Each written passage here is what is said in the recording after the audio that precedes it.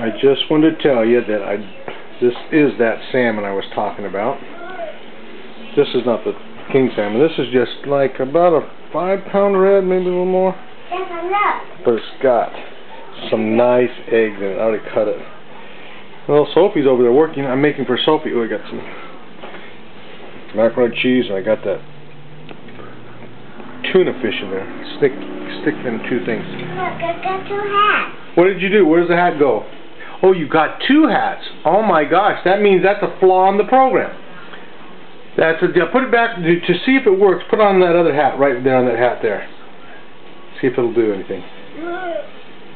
Okay, so now what you're going to get? Now there's nothing. You know what? You were this program's got a, a mistake in it. Restart it. Restart it.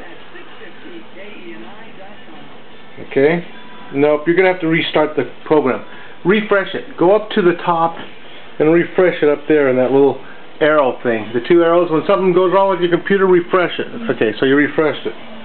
Alright, now you go back to, you got your games and you know that. Anyhow, our other little darling is asleep. And where she's asleep in the bedroom.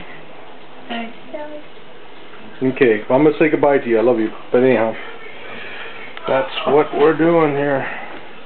Put that fish. You guys know how to clean a fish. Everybody down there knows how to clean a fish.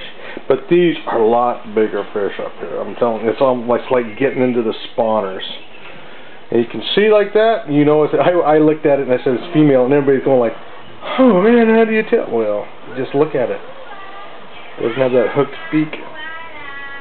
But it's trying to, but it, I can just tell. I know many of you can tell. Yeah, it's a nice fish. That's what we're going to have. So, other than the